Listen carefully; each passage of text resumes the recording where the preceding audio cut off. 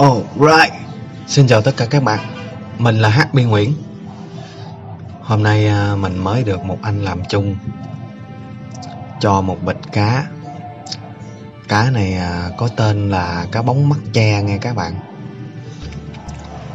Tại vì nó nó giống thân hình của nó thì như à, con cá bóng dừa vậy các bạn. Nhưng mà nó có sọc đen sọc vàng nhìn cũng khá là đẹp và loại này thì uh, có nhiều ở uh, những kinh rãnh hay là mương rồi nha các bạn. Và loài cá này size của nó là cỡ này là hết đát rồi các bạn. Nó nó không có bự nữa. Và mình ờ, mới vớt được mớ liềm kềm mình bỏ vô luôn nha các bạn. Tại vì mình nuôi thì nuôi cá tầng đáy à, cho nên là liềm kèm nó sống ở trên ấy trên mặt nước á. Và tuyệt đối các bạn à, không nên nuôi trong một cái hũ nhỏ như thế này mà quá nhiều con. Nó bị ngọt oxy á các bạn. Các bạn thấy nó lên nó đớp khí không? Có con nó lặt lặt luôn kìa. Là do nó thiếu oxy đông quá.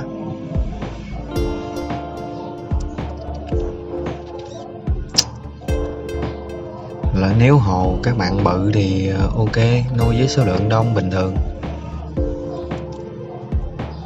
Loài này thì ờ, theo như mình tìm hiểu thì chúng ăn tạp lắm nha các bạn. Ăn uh, cá nhỏ với um, lăng quăng đó. Mình thấy có người cho ăn lăng quăng chúng ăn rất là hăng và loài này thì uh, mấy người lớn lớn tuổi chút sẽ biết loài này tại vì à, lúc nhỏ thì thường ai cũng sẽ à, bắt gặp loài cá này dưới mương thôi các bạn. Giờ thì à, có chỗ thì hơi hiếm. Và bây giờ mình bắt đầu thả nó vô hồn nhìn khá là đẹp các bạn.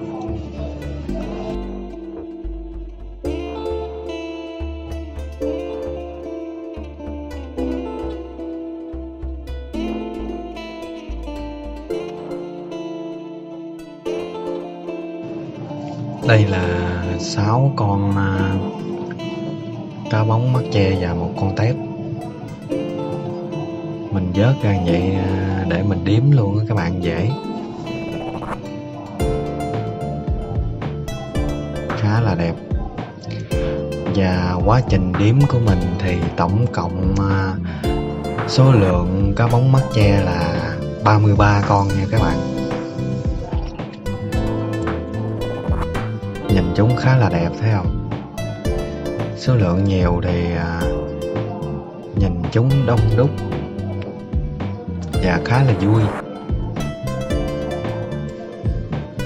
Chúng bơi rất là chậm các bạn bơi từ từ từ từ vậy đó. Có hai con nằm trên cái cây luôn kìa các bạn.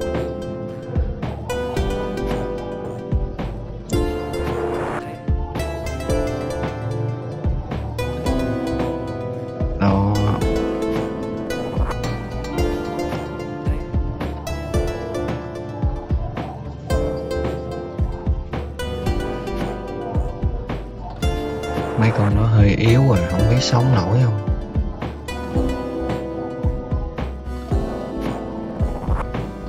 Mấy con này tại đa số mình dứt dưới mương cho nên là thần nước ngọt thì cũng hơi rất là khó nha các bạn.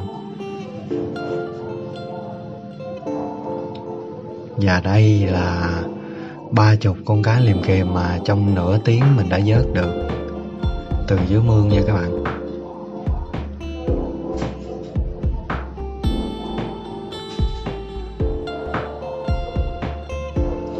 Và đây là tổng quan cái hồ của mình.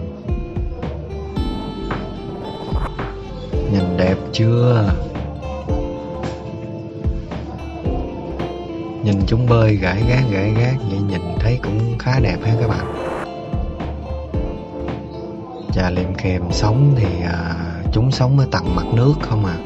Cho nên là đó là lý do mình vớt chúng vô. Mình đang thiếu tại vì mấy cá chuột thì sống ở tầng đáy rồi, còn mấy con cá bóng thì nó bơi loạn xạ hết, tầng nào cũng sống được. Nhưng đặc biệt cái thằng kèm là chỉ sống ở tầng mặt nước thôi nha các bạn. Và mình cũng mới nuôi ờ, nó gần đây cho nên là không biết là chúng ăn cái gì. Và có một con tép nữa, không biết nó sống được lâu với mấy con chuột botia không? Chuột botia mình cũng ăn tép với ăn ốc dữ thần lắm.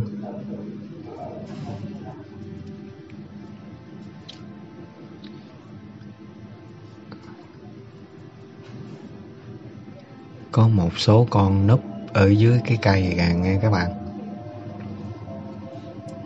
Loại này thì các bạn nếu thích thì các bạn uh, có thể vớt dưới mương lên đặng nuôi. Có một em cái bụng quá tí bự rồi không biết phải có bầu không?